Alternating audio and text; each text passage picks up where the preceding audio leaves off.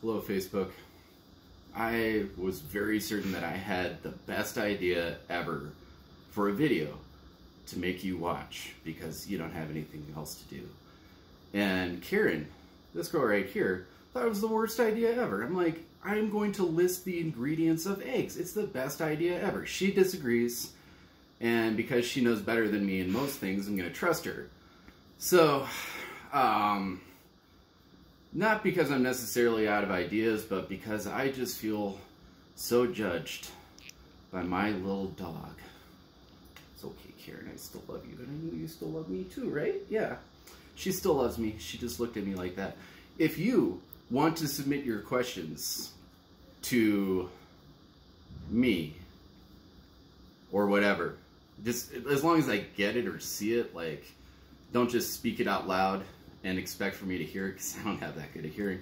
Uh, ask questions. Let me know. I can I can talk about it because uh, apparently my idea for talking about like the ingredients of eggs or simply reading the definition of the word the from the dictionary is pretty boring to a dog.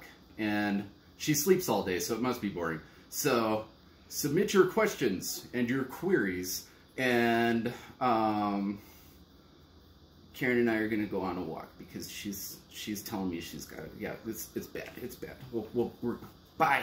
Um,